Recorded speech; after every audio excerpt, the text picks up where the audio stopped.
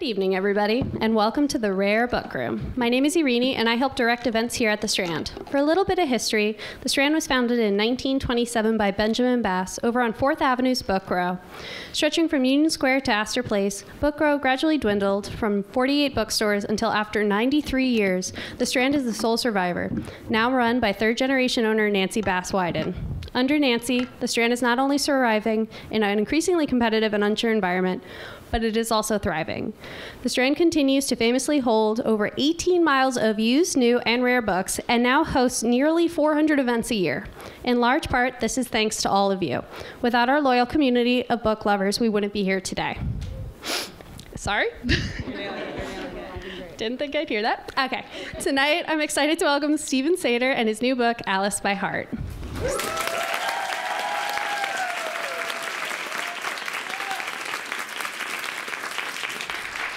There's more information. Steven won Tony Awards for Best Book and Best Score, the Grammy Award for Best Musical Show Album, as well as the Olivier Award for Best New Musical for Spring Awakening. His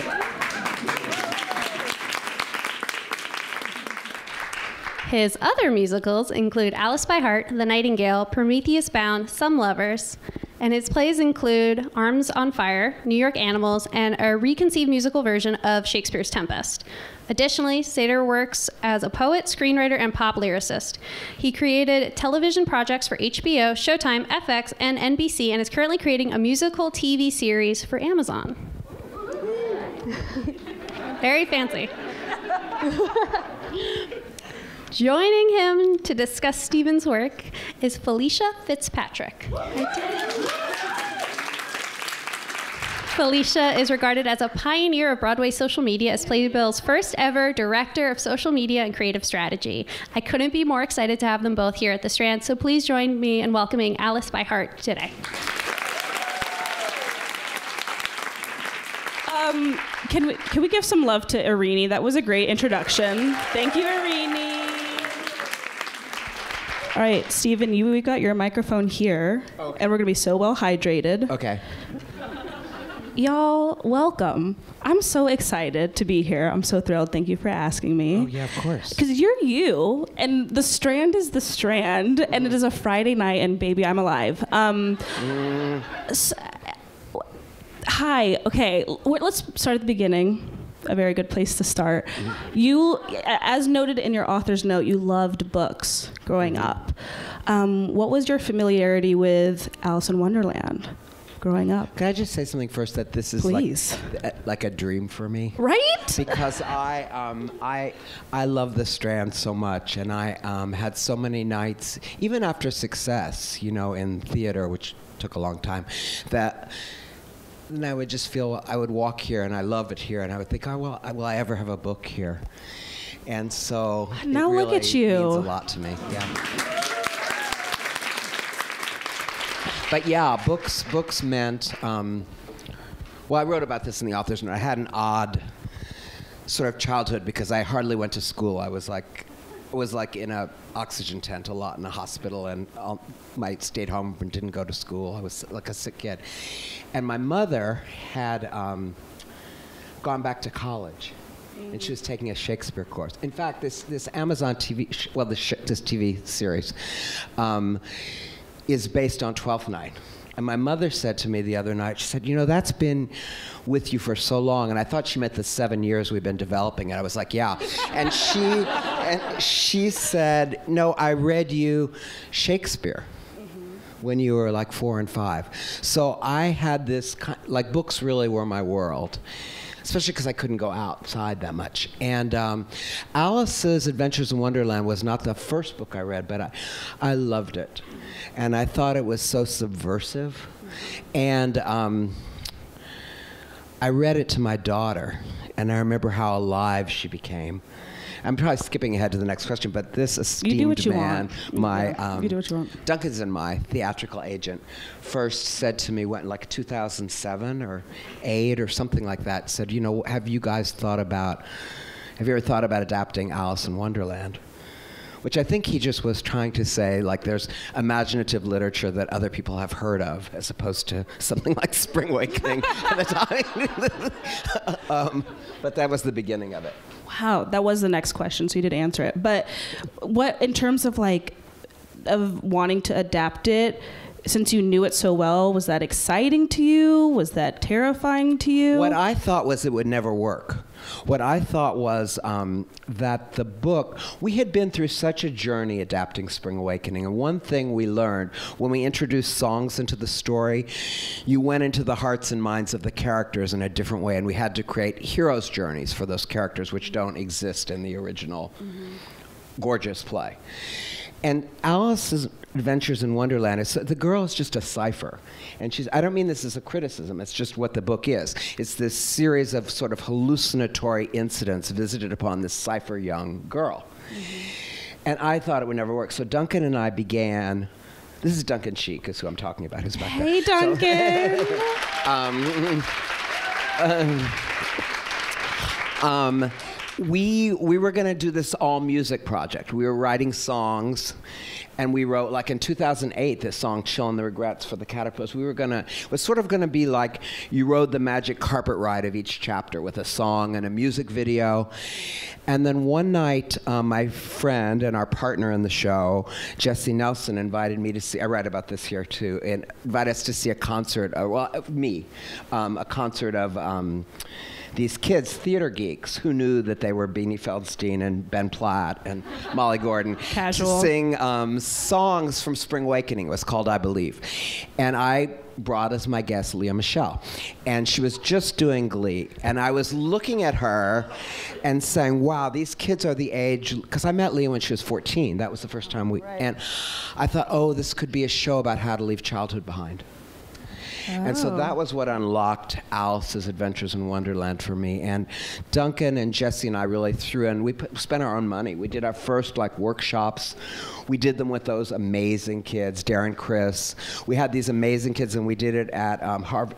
Kathryn Gallagher, Harvard Westlake yeah. High School in LA. And then we did another one at the Broad Theater. That's how we began working on the show. So, when you started approaching the material, uh, what was the decision behind setting it in London during World War II, like the Blitz?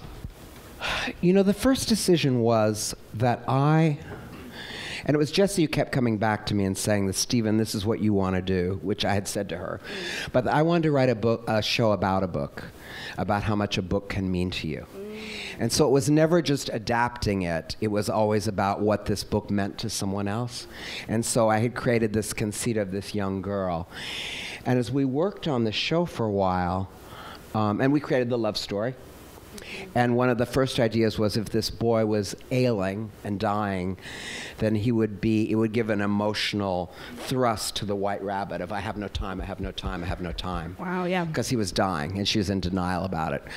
And um, we were working on the show at the National Theatre in London. We were workshopping it, and while we were there, was, there was a bombing in the tube station.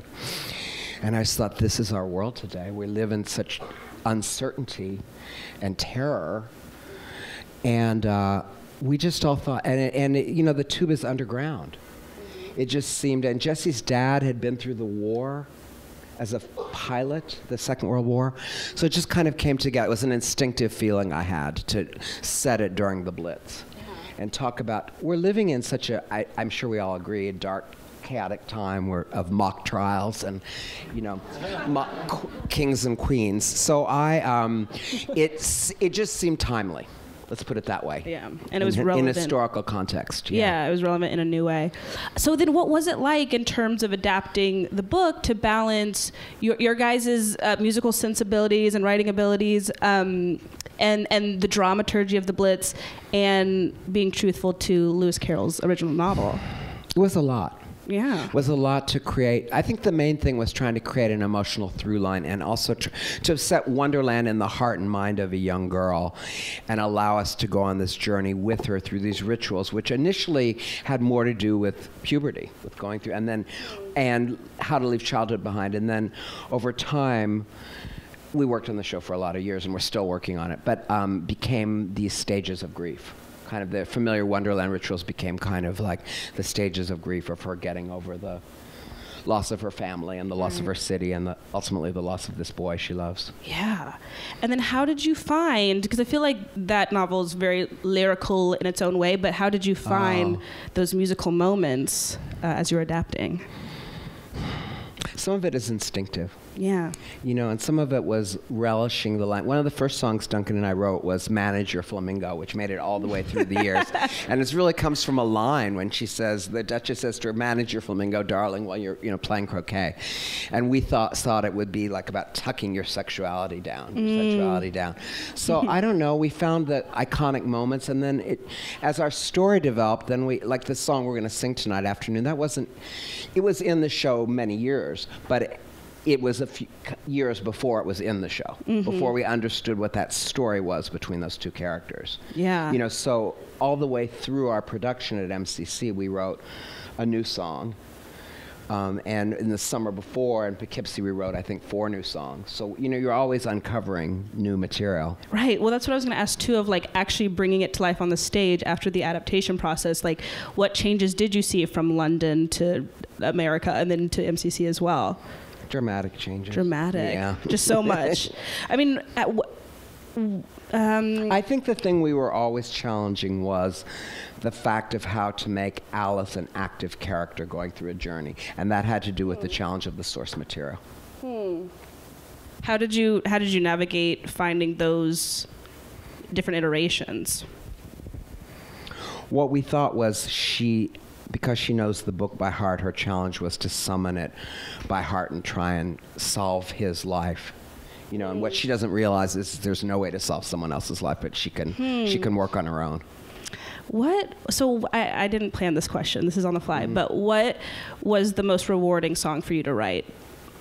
Oh, I don't know. You don't even know. You know, I think they're all. I mean, I can tell you that I have a lot of memories of this song, Afternoon, and I remember Duncan was staying at our house in LA um, when I gave him the lyric, and I remember him, and we had this out of tune piano, and I remember him breaking down in tears, writing it off this yellow pad that I'd written the, li- I'd, you know, hand. I, I write by pencil, and it, so you know he and then we went in, like literally the next day, to teach it to Ben and Molly, and he broke down in tears again. And I, um, you know, so I, and I remember what the song meant to us both, and still does. In that moment. yeah. Well, maybe we should hear it. Maybe we should Okay. do a performance of it. Like that seems that seems good, right? You guys feel ready? Y'all. So we've got Krysta Rodriguez, Alex Boniello, and then we've got Duncan Sheik and Jacob Yates. I mean,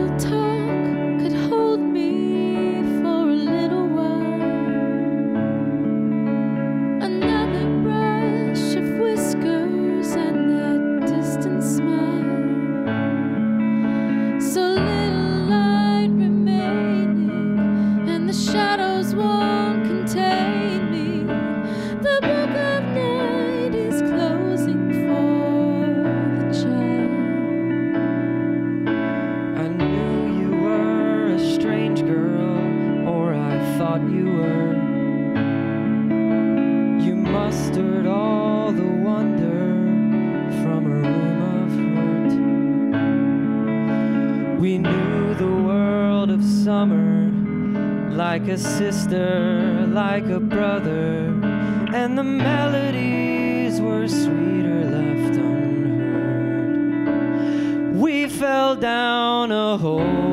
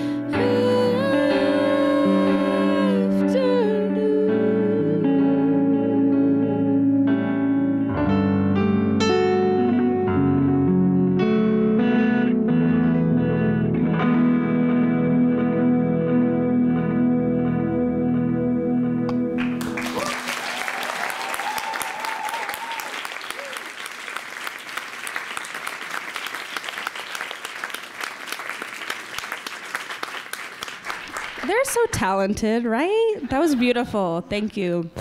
Um, what does it feel like to hear them sing that song in the Strand? This dream come true for you? Well, I just want to say that Krysta and Al. First of all, when I asked Krysta if she could do this, I What? What? What? Oh. We're okay. We're okay. Okay. I want to thank them for doing this. But I wrote Krysta to see if she could do this, and I used her NYU email. That's how long I've known her because I didn't. She was in the original company of Spring Awakening, Yeah. and then of course they both did the Deaf West revival together. And Jacob has been such a friend playing for all these events for Duncan and me. It's really, I'm really grateful to you guys. Beautiful. So- Yes. So now transitioning to think about adapting the musical into a book. Um, when did that conversation happen? What initially sparked that? Um, that was our producer, Kurt, Kurt Deutsch, who called me and said, you know, wouldn't it be cool if we did an Alice book and maybe it could be like a picture book? And I thought this is insane. You know what I mean? That you take this classic book and like we've been struggling to try and make this a viable musical for six years and hmm. why would I make it another book? And then something about the idea stayed with me, the idea of a book I read about this in the introduction, but at the beginning of Alice's Adventures in Wonderland, she says, What was the use of a book without pictures or conversations? Mm-hmm. And I thought, what about a book in conversation with the Alice book mm-hmm. and also all these other books that have meant so much to me through my life? Mm-hmm. So this book is kind of built on books. Yeah. It's built on. There's a thing. There's a there was a German writer named Walter Benjamin who died fleeing the Nazis in 1940. He was writing about Proust, who's my favorite novelist, and he said, you know, he's weaving. He's like the opposite. You know, Penelope in the Odyssey. Every night is weaving this web, and then in the day she unweaves it so she won't have to marry one of the suitors. And he said that's what Proust is doing with um, remembering and forgetting. And I thought, I want to create a book, like a web, out of all the books I don't want to forget. That's beautiful. I Yeah. love that. Well, I also thought that. I know I'm just talking now, but I also I love- thought that we love at that. a time of war, when you know, oh, we just look at the world today, Mm-hmm. and the devaluation of culture. But so I wanted to create a book that could be full of what it means to have a an education as a young person. Mm-hmm. So there's Euclid in the book, and there's Galileo, and there, you know, there, are all these great English writers who meant so much to me. There are a lot of paintings that are all paintings a young girl could see in 1940 Yeah. London, which have meant to. me. I've spent a lot of time in London, so these are paintings that have meant a lot to me too. Yeah. So it's, I don't know. I wanted to create that in the book. Yeah, and because you love books so much, I feel like I you can feel that in this book. Um, and so, with that in mind, like, where did you begin your adaptation process? Did you start at the very beginning, a very good place to start, or was there a line of dialogue that set you in? It wasn't the dialogue at all, but it was from the beginning. Well, I was, you know, Alice was beginning to get very tired of sitting by her sister on the bank. And I was like, one night, I was thinking, should I do this book? My first editor, Marissa, is here. Where's. Marissa? Hey, girl. Um, and I, um, just it just came to me. I couldn't sleep, and I thought Alice was beginning to get very tired of sitting on her flimsy cot, and you know, like it just kind of came out of that. And I, in fact, I wrote this first part, and it was so poetic. And I brought it into Marissa and Ben, who are the editors. I said, as proof that they didn't want to do this book, that it was like, didn't I, I, why am I writing a YA book? This is like so poetic and dense. And they were like, we like this. You should do this. Yeah. So. And you were talking about the element of it being like a picture book earlier, um, the archival photos Yeah. in this book. I was hoping you could talk about that a little bit. Yeah, those were something that Jessie and I really uncovered during our, our internet research for the show. And they're so heart stopping. I originally wanted our son, David, to do illustrations for the book, but there wasn't money for illustrations, and there wasn't, and David wasn't showing up. And so I, um, I, I thought, well, we could have, I still want pictures. Absolutely. So we drew on these archival photos, which I think ground the kind of fantastical element of the book too. Yeah. In the real setting that where the show is is mainly happens in Wonderland, even though that Wonderland is within the imagining of a young girl. The mm-hmm. book is really set in the tube station. Right. It's really like an historical fiction. And it's a good like checkpoint. I feel like when you're reading the book to see these visuals every so often to be like, so. you know, of like Yeah. a visual reminder of what it's supposed to feel like. Yeah. And and did it feel when you were adapting it like a flexing a new muscle, a, a, new writer muscle? No. It felt so It felt like what I was had been meant to do for a long time. It's like when I first Wow. wrote lyrics for Duncan, which were the first lyrics I ever wrote. And I'd been writing poetry for so long, and I thought, oh, this is something I should do. That's what it felt like writing the book. Did you did you get writer's block at all while writing it? No. But I. Wow. the- okay. Show off. But but uh, we all have our struggles. I, writer's block is not my struggle. Yeah. My struggle is is editing, rewriting forever and ever, and wanting to make everything. You know. Yeah. I can keep. Susan Sontag once said, "My books are smarter than I am because I can rewrite them," Hmm. and that's how I feel. That you can keep pulling more and more the longer you do it. Mm-hmm. It was all they could do to pull the book out of my hands. I still wish I could do another rewrite. Really? I feel like that's a true writer moment. Yeah. And and what was it like finding the musical moments now in novel form? Right? Like you had to take moments from the original novel and make it musical, and now it's back to novel format. Well, it's finding a different voice. You know, I was in the interior monologue of this young girl. And there was a place for the poetry of her mind. Should I read that section of what I think you was, should I was read telling that. Felicia that that afternoon became in the book. Yeah. So it's a section. So um, it's toward the end of the book, um, and there's been this big trial. Again, how timely. There's been this big trial, and um, then everything disappears, and Alice is left alone in Wonderland. And so I talk about that, and um, and the roses are what's left, and then she's so she's on her own. Um, once more, Alice looked about. The world around her suffused so with rose light it seemed to offer itself to the view for the very last time. That moment, every flower seems to glow most like itself in that misting hour as the sun declines. Sorry, I haven't seen your rabbit, someone seemed to gossip. Not here, not today. Alice cast about and about. No one there but her, no bird twittering of the plain sense of things from among the leaves, no bathers bathing in some homely stream, no rustic clippers clipping those majestical croquet hedges, no hedgehogs there hedging about. Another wondrous city evacuated. But there, some departing sound, not unlike the dim rattling on distant roofs. The drizzle of shrapnel, dropped so methodically, it had come to seem part of the day to day. No, it was more like some odd, insistent tick tock, someone's clock. Uneasily, Alice looked about, and there on a lonesome rock lay that rabbit watch, his war scored pocket watch, that worn silver moon casting a, catching a breath on some sunlit ledge. Once more she looked, and there he stood, her white rabbit the light just catching the furred curve of his ears, so proud in his frayed hospital gown, the perpetual afternoon of his eyes succumbing to the coming pageant of evening. You, she said. His shoulders near shivered, then shrugged abashed. He so polite to the end. Still here? Yes, her eyes said yes, as if somehow she knew some deeper self looking on him. Somehow he nodded yes. A parting gift, she almost said, but hesitated. For she found herself most with him only within the silences. And so, with no word said, she looked again and saw him once again as first she had battling the nervy May wind for control of his fluttering paperback pages, every inch the white rabbit already in his double breasted Edwardian jacket. Now here he stood all these years later, one moment more, still him.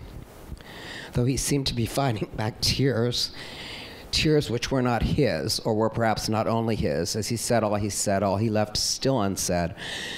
I can't tell you what it's meant to come here once again, to run here once again. She felt herself nod as if what she looked at were what she were in. And this is her internal thought. Don't let's say more, Alfred, don't let's. But he again, I hope you will remember how it was. She nodded again. In the story, he said, there's no moment of farewell, you know. She knew. Hearing within her that hymn from the other side of memory, the end sound of a summer without end. Don't let it. He once more, and so, with no further word, he turned to go, but she could not. Please don't. And the back of him did not, did not go. He could not. Not her rabbit, not yet. However, would the sun remain still there? But see the back of him etched there, still there, the back of her rabbit in his waistcoat. She would see him forever, she knew, there by the desolate rock, forever on that hill in Wonderland. Yet once more he turned toward her one last look. Her Alfred in his frailer robe, forever, look there. Again she looked, and this time thought. Alice, turn one page. I loved him. I still love him, yes.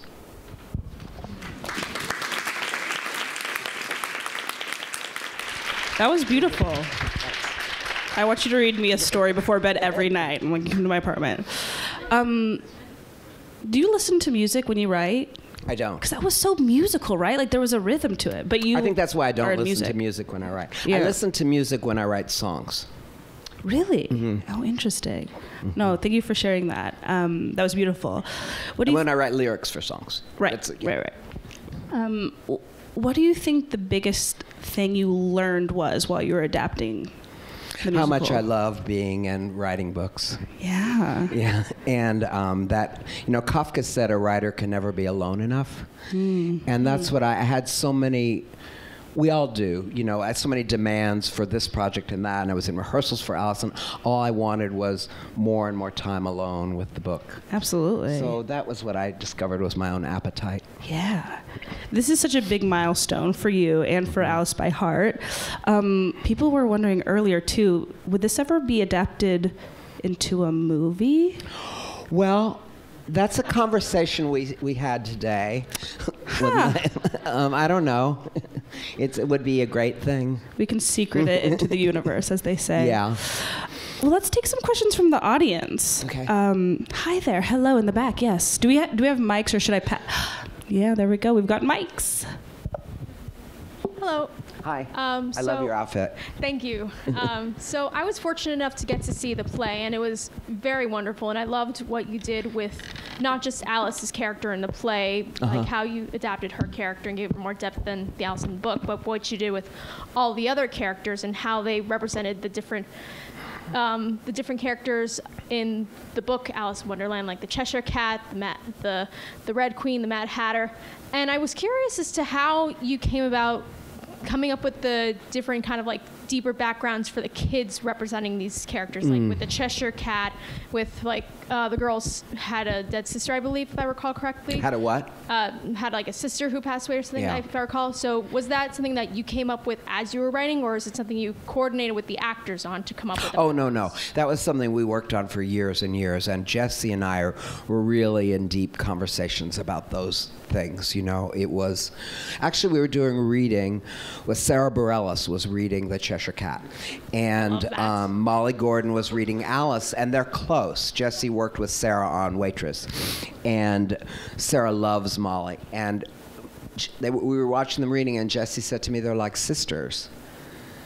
And then we just had this thought, you know, one of us, you know, what if they were sisters? And then we thought it's not good that they're sisters because Alice has lost her family. And then we thought, well, what if then why is the Cheshire Cat Tabitha so drawn to this girl? And then it was like, well, maybe she's lost her sister.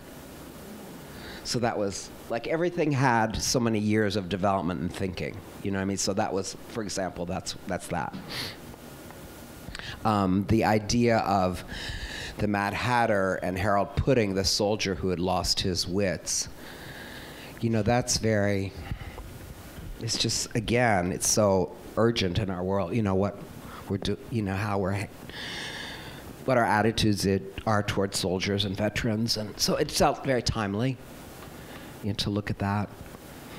And working with Wes, okay, so this answers your question. So Wes Taylor asked a really intelligent question in, in rehearsal at MCC, and he was asking, he wanted a little more of um, the connection between Harold, the soldier, and do you remember Rick and Jeff Kuperman, our choreographers, are here, and they're so brilliant. Hi. So glad they're here. Um, but do you remember he asked me for, and then Jessie and I talked, and we created that moment of like a like an egg drop, God dropped for kicks. We created this moment in the middle of the tea party, which had never been there, where he kind of becomes Harold again. Um, so yes, so you you are responding to actors, but we had also worked on it for a long, long time. We have more questions. I saw hands earlier. Right here in the brown. A mic is coming to you. Thank you. Hi. Um, so with things like the egg dropping in the middle of that song, um, it's not in the cast recording, and I was just wondering why. Oh no, it's not in the it's not in the song. It's in the scene. Is that what you're talking about? That that scene? No, it's in the scene. Cool. Thank It's you. It's before the song. Yeah. Awesome. Oh, in the yes, in the glasses. Hello. Um, this is kind of a similar question, but for the character of Tabitha and the Cheshire Cat, um, in the book, the Cheshire Cat I think is more perceived as like a trickster kind of character, but with the musical, she's more of like a helpful person that's like there to support Alice through everything. What made you decide to change the character in that way? It was really, um, I don't know, wanting Alice to have a guide and what would a guide mean and what, you know, she's still, the thing is, in our show, the Cheshire Cat is really tough with Alice. She's the one who busts her again and again about being in denial and kind of gets her to finally um, admit that this boy is dying. So she's not just loosey goosey supportive, she's tough.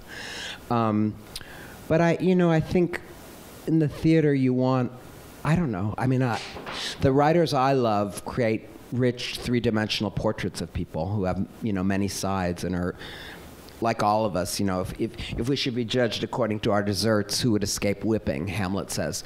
You know so everyone's you know messed up.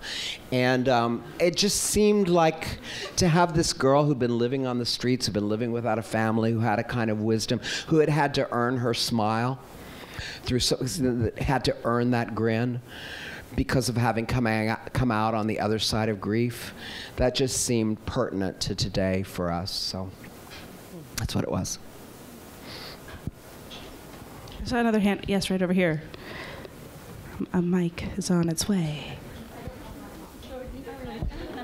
Um, I had two questions about um, song order. Actually, secondly, one question, but um, there are two two scenes in with in the show and the book that are interesting. With um, going from the Duchess to the Met, to the Mad Tea Party, it's the one scene that, that goes in the same order as the book. Say again, the Duchess to the Mad Tea Party. It's also yes, it's the same order in, in both the show and the book, and it's the only scene like that. And it's also the one that um, Alfred um, brings them to, and um, and the Jabberwock is the one scene from Through the Looking Glass, not from Alice in Wonderland. Uh-huh. Wonderland. Is there a significance to those? Well, so the idea was um, that Alice, that Alfred brings Alice to the tea party to punish her for not realizing how sick he is. For, the, in other words, the hurt you do to someone by not admitting they're going to die. I was wondering because um, Alfred's much more focused on keeping to the book, and I was wondering if that was an intentional choice to keep. It's a, it's a change for him. I, yeah. it's a step in his journey to, to be less by the letter, right? To in order to have a lesson to for Alice, and then in the show it really backfires or properly it leads to his exhaustion and his collapse. Um, the through the looking glass moment, I really resisted because it was so.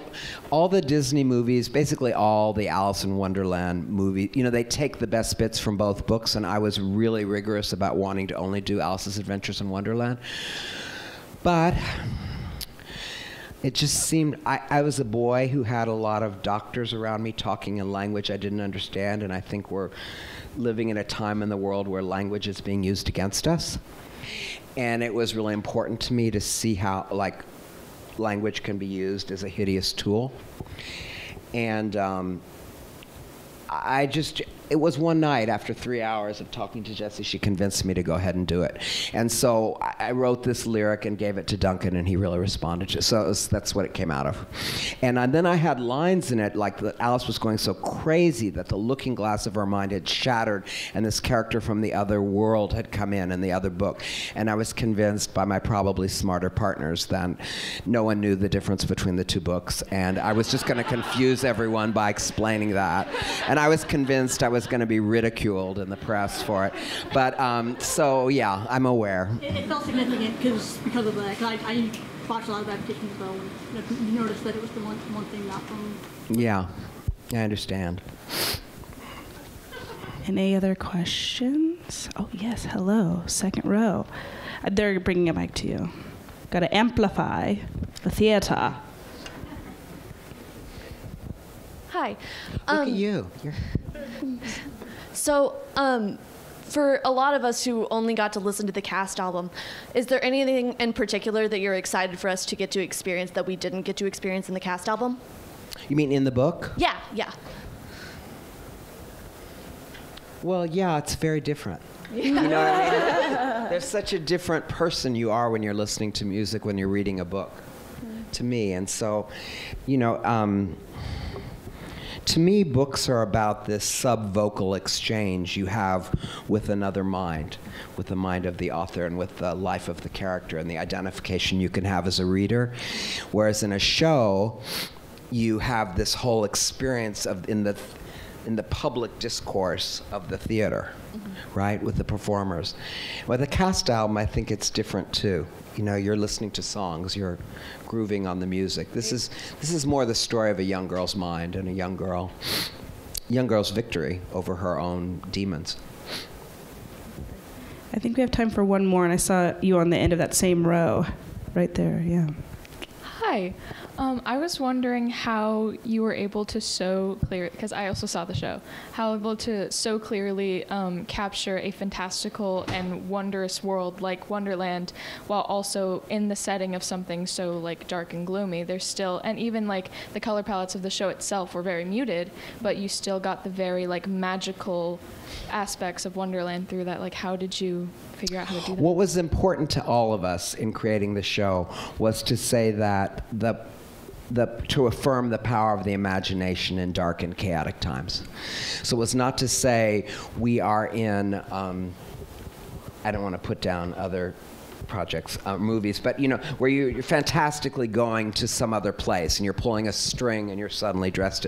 It was about what can the imagination pull forth from the real world where we are. I really believe that, I know this sounds like a stupid thing to say, but that the world is. And that we live so much in our own heads, and that's part of Alice's struggle. She's in her own mind. She thinks she can convince, she can make it that this boy is well, and she can't. Right? She can adjust her attitude to the world. And so I, I think the harsh reality of that world, we wanted it to be present. In the, that, that's the, the secret is to find the wonder in the life you're living, not to pretend to live somewhere else. That's what we were trying to say. And with that, I think it's time to wrap up. But thank you so much to Alex and Krysta and Duncan and Jacob, and to you, Steven Sater.